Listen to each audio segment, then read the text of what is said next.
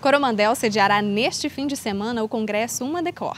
E para falar mais sobre este evento, eu estou aqui com uma das organizadoras, Adna Lima. Adna, qual será a temática tratada neste ano? Boa tarde a todos. Esse ano nós vamos falar sobre o arrebatamento com jovens de toda a região. E creio que, creio que vai ser uma bênção falar sobre esse assunto que é tão esquecido, né? E quem quiser participar, Adna, como é que vai ser dividida a programação entre o sábado e o domingo? No sábado começaremos às 18 horas.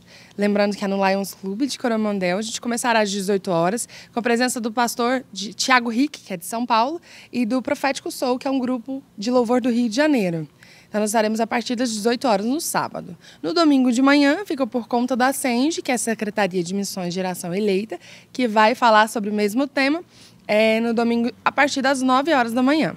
E à noite, ainda no domingo, a partir das 18 horas, nós continuaremos louvando e adorando ao Senhor junto com todos vocês. Eu aguardo todos lá. E quem quiser participar de Coromandel ou de cidades vizinhas, tem que realizar alguma inscrição, tem que pagar para participar desse congresso? Não, é um evento totalmente gratuito e por isso nós aguardamos muita gente, há cerca de mil pessoas lá, e gostaria de convidar cada um de vocês para estar conosco durante esse evento.